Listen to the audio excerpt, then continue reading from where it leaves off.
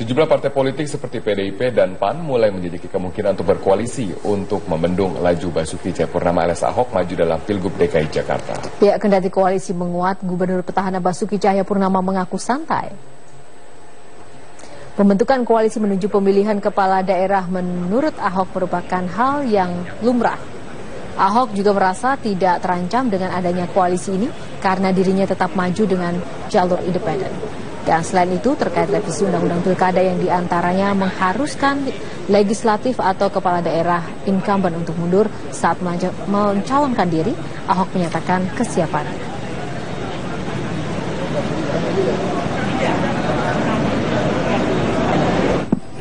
biasa-biasa aja semua parpol ya kalau kursi nggak cukup ya koalisi. Kalau PDIP kan udah cukup kursi. Ngancam Bapak nggak Pak? Nggak pernah ngancam, baik-baik aja tuh makan bareng. Kalau ngancam kan waktu makan ditusuk dong. Kan kalau yang berani kan maju. Saya dulu maju bupati ke gubernur harus berhenti, saya berhenti. Waktu saya bupati, berhenti saya waktu mau putuskan ikut Pak Jokowi diancam pecat partai, aku juga berhenti aja.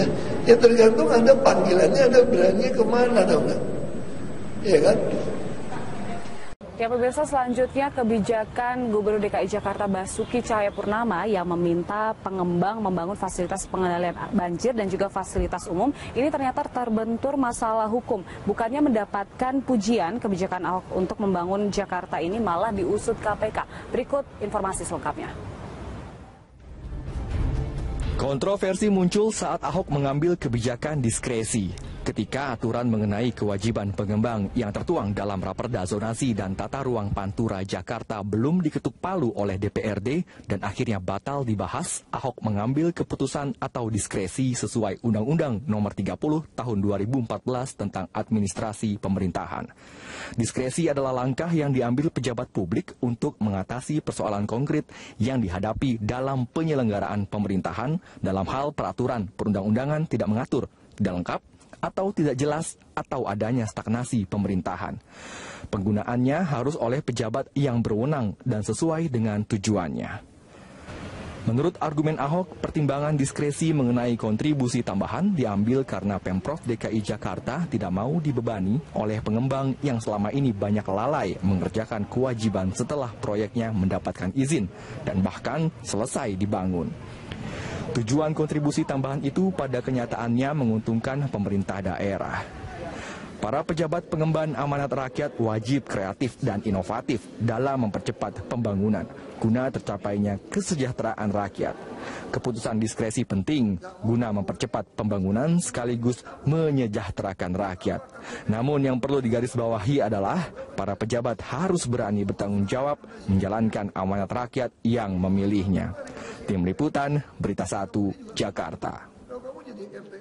Pemirsa Gubernur DKI Jakarta Basuki Cahayapurnama memenuhi janjinya menghadiri teman Ahok Fair yang diselenggarakan relawan pendukungnya. Di depan para pendukungnya, Ahok menangkis semua tuduhan kasus korupsi yang menyerang dirinya.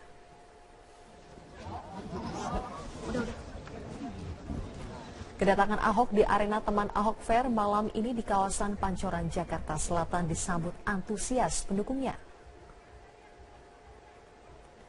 Ahok mengatakan ia hadir karena tidak mau kepercayaan yang diberikan relawan teman Ahok hilang. Ahok sangat mengapresiasi dukungan yang diberikan relawan teman Ahok maupun warga yang sudah datang dengan membayar tiket masuk. Ahok bahkan berorasi di depan pendukungnya selama 30 menit. Dalam orasinya, Ahok mengaku menerima keluhan calon wakil gubernurnya Heru Budi Hartono yang kerap menerima ancaman akibat pencalonannya. Ahok juga memanfaatkan momentum bertemu pendukungnya dengan membantah semua tuduhan kasus korupsi kepadanya seperti kasus rumah sakit sumber waras dan reklamasi Teluk Jakarta. Ahok menyebut pencalonannya tidak mudah karena pasti menerima banyak ancaman. Kan dari awal saya sudah bilang, kalau kita putuskan independen, pasti kita akan dihajar, difitnah, bisa dikriminalkan, tapi yang penting rakyat tetap percaya.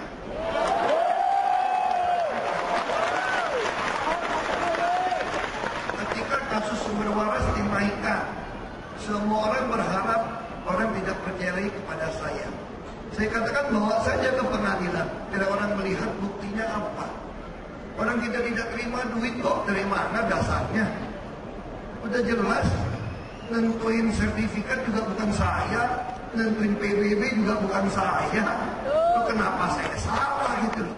Teman Ahok Fair, kita sudah terhubung dengan reporter Tria Nisha langsung dari Hall B Gudang Sarinah Ecosystem. Nisha, bagaimana antusiasme pengunjung dalam acara Teman Ahok Fair ini?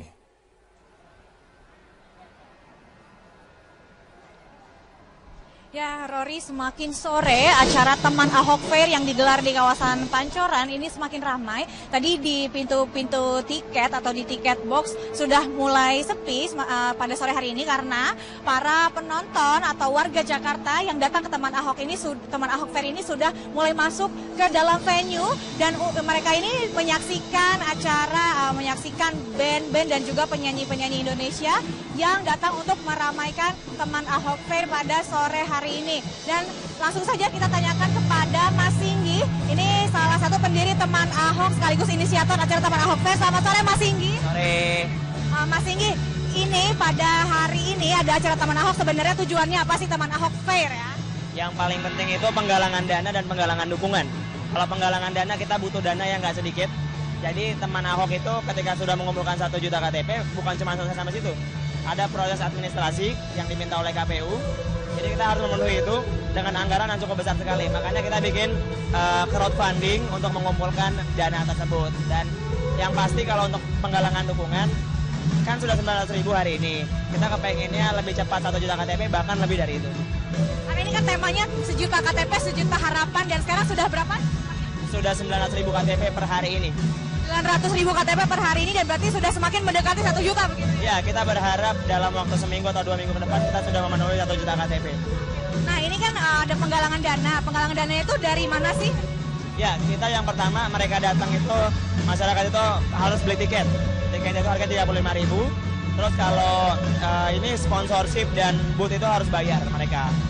Oh jadi bayar tiket tadi 35 ribu, untuk masuk ke sini dan uh, itu yang dijadikan dana untuk disumbangkan? Iya betul itu yang menjadi dana kita untuk proses administrasi nanti. Lalu kemudian setelah ini nih nanti sudah uh, sampai bisa sampai satu juta begitu amin. Lalu kemudian apa yang akan dilakukan teman Ahok? Yang pertama menyelesaikan proses administrasi, yang kedua adalah pendaftaran. Setelah itu baru kita akan kita tunjuk menjadi tim kampanye teman Ahok siap. Jadi kita sudah siap sekali untuk jadi kampanye ngomong-ngomong terkait dengan digelarnya uh, acara ini teman Ahok Fair, ada nggak sih obrolan dengan Pak Ahok atau Pak Basuki Kalau obrolan kita sudah mengirim undangan langsung ke beliau, kita minta beliau untuk hadir dan beliau akan hadir.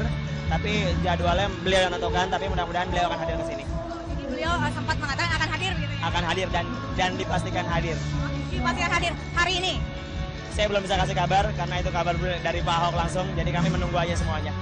Terima kasih banyak Mas Singgi. Selamat sore, selamat kembali menyaksikan ini ya acaranya. Karena masih banyak sekali ya, uh, pemirsa masih banyak sekali uh, artis atau penyanyi ataupun band yang akan tampil di Teman Ahok Fair ini. Seperti tadi ada Project Pop, kemudian ada Jefo, dan nanti juga ada, akan ada Is Dahlia, ada Sore, ada Moka, dan juga uh, Vlog, dan masih banyak lagi. Memang Teman Ahok Fair ini di untuk menggalang dana dan juga dukungan bagi para warga Jakarta baik itu pendukung Ahok ataupun yang belum mendukung Ahok. Dan itu meyakinkan para warga Jakarta yang belum mendukung Ahok supaya mengetahui uh, bagaimana visi misi Ahok dan uh, apakah uh, menilai sendiri mereka bisa menilai sendiri nantinya apakah Ahok atau Basuki Cahayapurnama ini uh, mampu atau pantas untuk kembali atau tidak menjadi Gubernur DKI Jakarta pada Pilgub DKI 2017 mendatang. Dan saya akan kembali menyaksikan teman Ahok Fair. Untuk sementara demikian, Rory kembali ke Anda di studio. Terima kasih Trianisha laporannya dari Gudang Sarinah Ekosistem di Jakarta.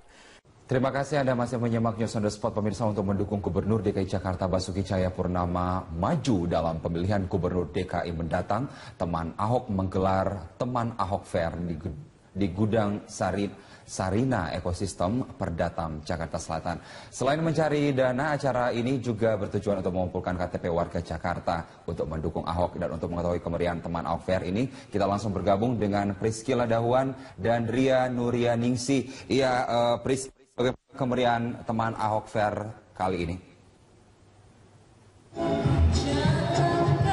Ya, harus benar sekali di hari pertama teman Ahok Fair pendukung Ahok membuat acara untuk kemudian mendukung Ahok untuk maju sebagai DKI 1 pada Pilgub 2017. Kemeriahan sudah sangat terasa sejak uh, pukul 11 siang tadi, di mana dari mulai depan pintu masuk itu sudah uh, terlihat banyaknya pengunjung yang mulai memenuhi area gudang Sarina di Pancoran Jakarta Selatan ini. Terasa keramaiannya. Mengapa? Karena sudah banyak beberapa bintang tamu yang juga memeriahkan acara ini sejak pukul uh, 11.30 siang tadi. Dan di belakang saya juga bisa terlihat bahwa memang sudah mulai banyak uh, para pengunjung yang datang ke sini untuk menikmati berbagai suguhan acara musik serta juga mungkin beberapa pengunjung yang tadinya belum memberikan dukungan kepada Ahok pun bisa langsung ke sini dan bisa memberikan dukungannya melalui pendaftaran KTP-nya untuk segera didaftarkan menjadi uh, pendukung Ahok untuk maju sebagai Pilgub 2017. Dan hingga malam hari nanti pun diperkirakan jumlah pengunjung akan semakin meningkat Carlos mengingat karena masih banyak sekali uh, beberapa bintang tamu begitu yang juga nantinya akan memeriahkan acara ini Carlos. Iya Cila, lalu uh, ada produk apa saja yang ditawarkan di uh, fair kali ini? Ya, ya Carlos pertama ini ada sekitar 80 stand atau bazar yang memeriahkan teman Ahok Fair di hari pertama ini. Dan dari tadi kami melihat ada beberapa produk misalnya tentu saja penjualan merchandise uh, mengenai teman Ahok dari mulai kaos dan juga aksesoris lainnya yang juga dapat dibeli dengan harga yang cukup murah di sini. Selain itu juga karena teman Ini bekerja sama dengan sponsor sehingga pun banyak sekali produk-produk uh, dari sponsor dan juga produk-produk uh, bahkan produk-produk rumah tangga dan juga properti juga tersedia di sini.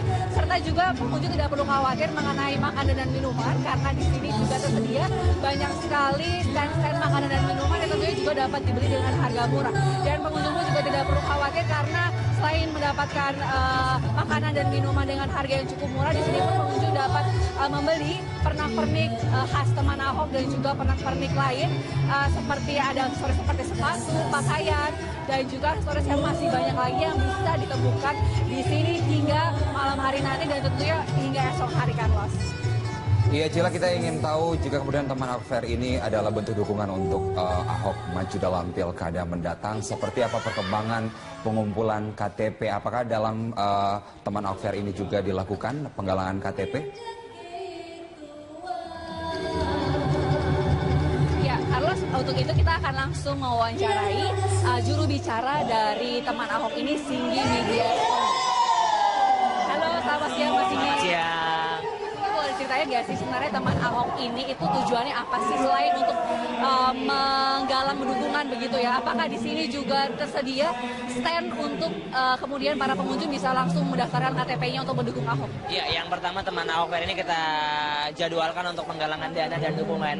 Jadi penggalangan dana ini ketika teman-teman sudah ngumpulin KTP cum- bukan cuma sebatas pengumpulan KTP, kita butuh dana untuk uh, menggandakan administrasi yang diminta oleh KPU. Artinya kita butuh anggaran yang nggak sedikit, makanya kita bikin acara ini. Jadi semuanya itu datang ke sini beli tiket, sponsorship dan booth yang semua di sini itu bayar. Dan kita juga memberikan waktu siapa pun orang yang misalnya belum ngisi KTP, mereka bisa ngisi KTP langsung di booth kami. Jadi mempercepat pengumpulan satu juta KTP, kita berharapnya seperti itu. Begitu hingga hari ini nih sudah berapa KTP sih yang dikumpulkan teman Ahok? Sampai hari ini tuh sudah di angka 900 ribu, jadi butuh 100 ribu lagi, KTP lagi untuk capai angka psikologis kita 1 juta KTP. Jadi kita berharap dua minggu ke depan sudah harus dapat 1 juta KTP. Lalu untuk dua hari penyelenggaraan teman Ahok Fair ini Pak Mas Igi, kira-kira apa sih yang diharapkan atau mungkin uh, target pengunjung yang bisa langsung uh, mendaftar KTP-nya untuk mendukung Ahok tuh berapa sih? Dengan modal yang kita nyet cetak awal itu 600 juta buat bikin acara ini, kita berharap dapat dua kali lipatnya. Jadi kita berharap dapat 1,4 miliar dari acara ini untuk menggandakan formulir. Nanti kalau sisanya untuk sisanya untuk kas dan kita juga berharap ini acara sebagai acara silaturahmi buat semua teman-teman ini acara terbesar buat teman Ahok sih. Jadi kita pengen bikin bagaimana acara politik itu gak cuma mereka datang terus dibayar. Malah sekarang kita ubah polanya jadi mereka datang ke sini mereka beli tiket kayak gitu. Cara yang cukup unik ya untuk menggalang uh, dukungan kepada Ahok. Lalu bentuk uh, komunikasi dengan Ahok sampai sejauh ini bagaimana? Apakah Ahok mendukung banget acara ini atau? Iya, kemarin kita juga sudah mengajukan undangan ke beliau. Beliau bilang beliau akan hadir. Beliau juga balas uh, Twitter kita, beliau balas mention kita di Instagram, semuanya dibalas. Beliau akan hadir, tapi kita rahasiakan jadwalnya kapan Bapak akan hadir. Jadi mudah-mudahan teman-teman bisa ngisi ini dengan sebaiknya dan ramai itu yang pasti. Intinya teman Ahok juga optimistis ya supaya acara ini bisa menggalang dukungan lebih banyak lagi untuk Ahok sehingga bisa maju ya, ke DKI. Pastinya, pastinya kita berharap dari acara ini dana terkumpul dan KTP lebih cepat dan Ahok akan maju lewat jalur independen. Kita berharap seperti itu. Terima kasih banyak Mas Sigi untuk waktunya.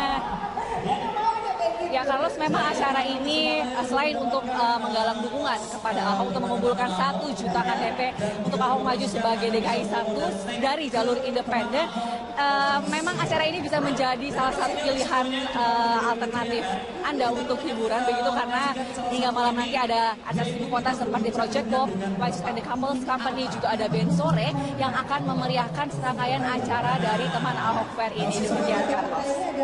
Baik, terima kasih Priscila Dahuan dan Ria yang melaporkan langsung dari teman Ahok Fair. Selamat sore pemirsa Anda menyaksikan Headline News pukul 15 waktu Indonesia Barat. Bakal calon gubernur DKI Jakarta Sandiaga Salahuddin Uno mengaku optimistis dan yakin akan dicalonkan Partai Gerindra sebagai calon gubernur DKI Jakarta pada ajang Pilgub DKI Jakarta 2017 mendatang.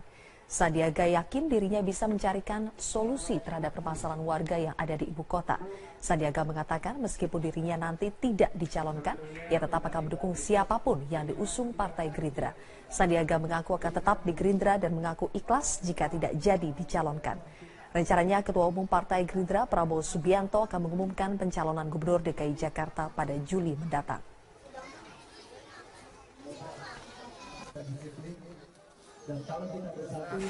Kegiatan-kegiatan di lapangan ini membuat optimisme saya semakin uh, memuncak. Saya melihat bahwa warga antusias sekali, uh, warga memberikan uh, dukungan yang yang real, uh, menceritakan tentunya masalah-masalah yang dia hadapi, tapi juga harapan-harapannya.